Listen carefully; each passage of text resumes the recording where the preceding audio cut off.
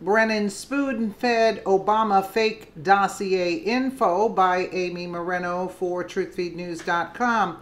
Well, well, well, looks like we have yet another liar from the Obama deep state intel community. This time it's former CIA Director John Brennan, who has been fingered by two former colleagues who claim Brennan contradicted himself when he said the debunked drunk, uh, Trump uh, Russia dossier was not part of the U.S. intelligence community assessment on the so called Russian interference in the 2016 election. This new report blows the lid off that claim and exposes more lies and deceit within Obama's administration. It appears as if John Brennan was spoon feeding Obama info from the discredited and fake dossier leading up to the 2016 election and beyond. As Representative Devin Nunes uh, pointed out, this was a setup from the get go. From Zero Hedge, central to the controversy is a statement by recently retired National Security Agency Director Michael Rogers, who stated in a classified letter to Congress that the anti Trump memos, which made up the dossier, did factor in to the IC assessment which was reinforced in a CNN interview by James Clapper, former director of national intelligence, who said that the assessment was based on some of the substantive content of the dossier and that the IC was able to corroborate certain dossier allegations. In a March 5, 2018 letter to House Intelligence Committee Chairman Devin Nunes, uh, Admiral Rogers informed the committee that the two page summary of the dossier described as the Christopher Steele information was added as an appendix to the ICA draft and that consideration of that appendix uh, appendix was part of the overall ICA review slash approval process.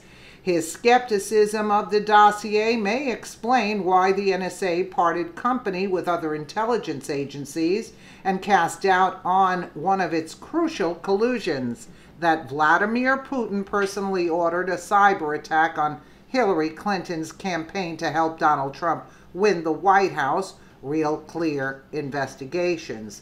What's more, Brennan was feeding some of the dossier material to President Obama and passing it off as credible, reports Sperry.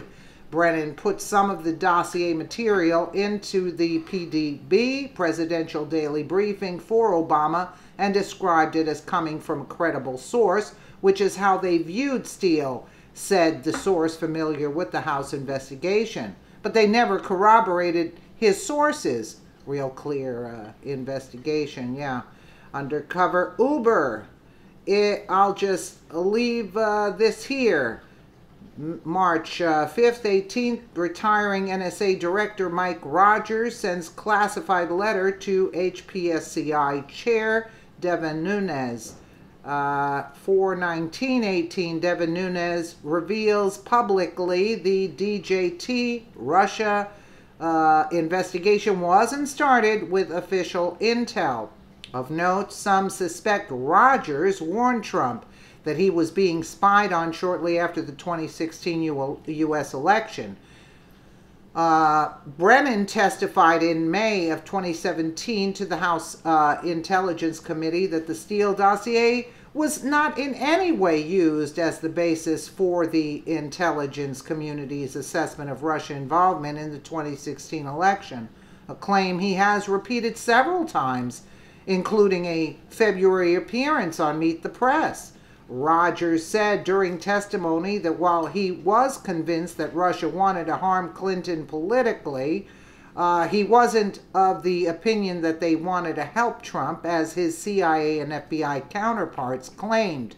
The assessment didn't have the same level of sourcing and the same level of multiple sources, Rogers said. The dossier, which is made up of 16 opposition research uh, style memos on Trump, underwritten by the Democratic Na- uh, National Committee and Clinton's own campaign, is based mostly on uncorroborated third hand sources. Still, the ICA has been viewed by much of the Washington establishment as the unimpeachable cons- uh, consensus of the U.S. intelligence community. It concludes that Vladimir Putin ordered the hacking and leaking of Clinton campaign emails to help Trump's chances of victory, have driven the Russia collusion uh, narrative and subsequent investigations besieging the Trump presidency, RCI. That said, the ICA did not, in fact, reflect the intelligence community's consensus.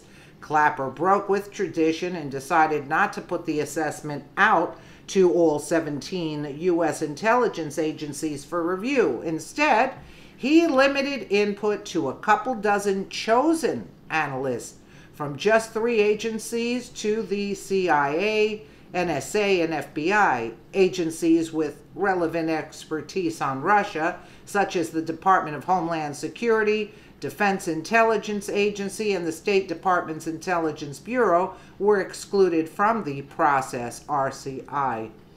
On other words, in other words, I would say, the assessment of Russia's interference was shielded from government experts who might be able to poke holes in the literal conspiracy theory.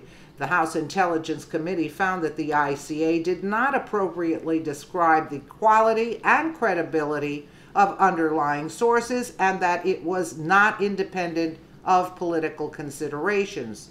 Furthermore, the report is missing any dissenting views whatsoever, as would normally be included. Traditionally, controversial uh, intelligence community assessments like this, including dissenting views and the views of an outside review group, said Fred Fleitz, who Real Clear Investigations reports worked as a CIA analyst for 19 years and helped draft national intelligence estimates at Langley.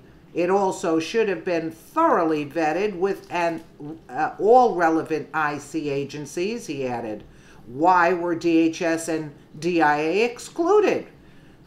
Fleitz uh, suggests that the Obama administration limited the number of players involved in the analysis to skew the results.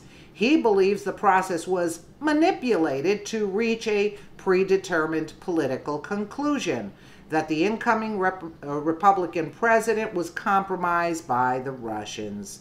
I've never viewed the ICA as credible, the CIA veteran added.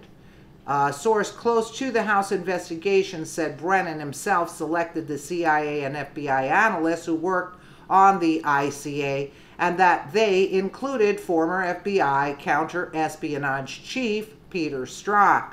Strzok was the intermediary between Brennan and former FBI Director James Comey, and he was one of the authors of the ICA, according to the source RCI. Strzok, of course, was reassigned to another department within the FBI after anti Trump and pro Clinton text messages were uncovered by DOJ Inspector General Michael Horowitz. Strzok remains under investigation by the IG while his FBI lovebird Lisa Page resigned uh, in uh, uh, quotes here was fired in early May.